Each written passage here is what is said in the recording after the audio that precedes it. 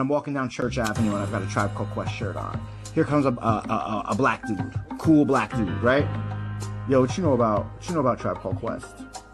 Well, I'm really into the first album, People's Instinctive Travels on the Paths of Funk and Rhythm, was like a really one of my favorite early '80s, uh, early '90s Native Tongues albums. Like, and then the black guy has to be like, I can't argue, I can't argue against the white guy with an Eric B and Rakim shirt or a Tribe Called Quest shirt. I can't.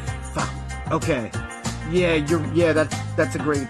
That, that is a good album. That's a good album, right? So now that now that, that black guy has to has to give that white guy props and and the, but here's what the trick is. You know what the white guy gets to do by not liking Future, by liking Tribe Called Quest, and not liking Future. Uh-huh. You know what trick that is? He gets he steals props from a black person. A, a black person has to give him credit for liking Tribe Called Quest.